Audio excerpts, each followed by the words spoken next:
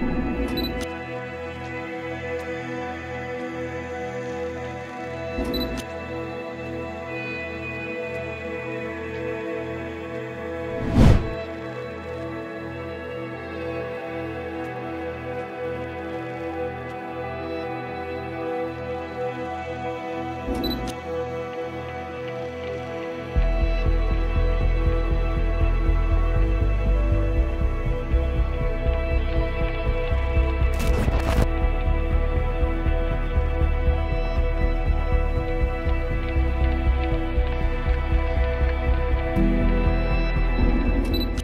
Satu, ini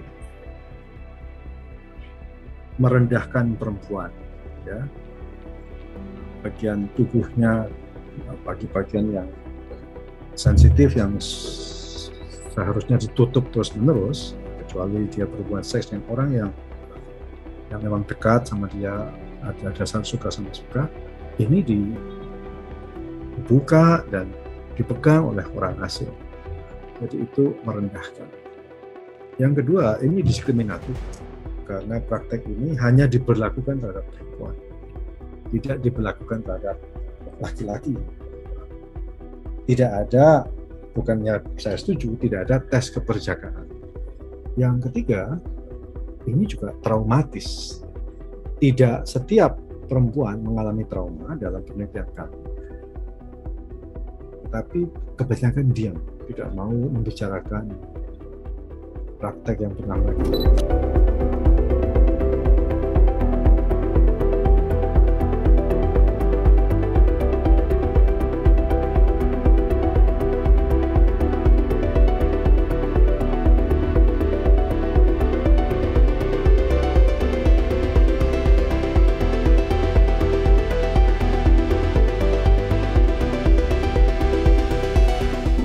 Nah dulu itu ada istilah urinata urinaria itu saluran kencing atau genitalia alat kelamin atau kadang ada istilah kesehatan reproduksi. Tetapi istilah-istilah itu dipakai buat memeriksa hymen dengan tes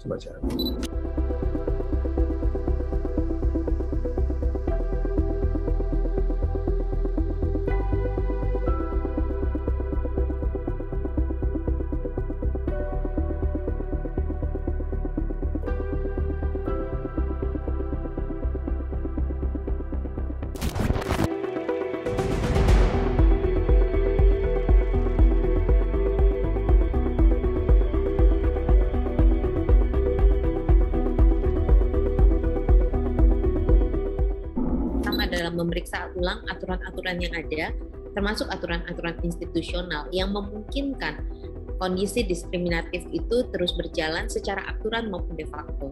Yang kedua, eh, tentunya melahirkan kebijakan-kebijakan baru yang justru membangun kondisi yang kondusif untuk menghapuskan diskriminasi tersebut. Termasuk di dalamnya adalah langkah-langkah afirmatif untuk mengakui dan juga mendukung kepemimpinan perempuan di dalam institusi yang terkait. В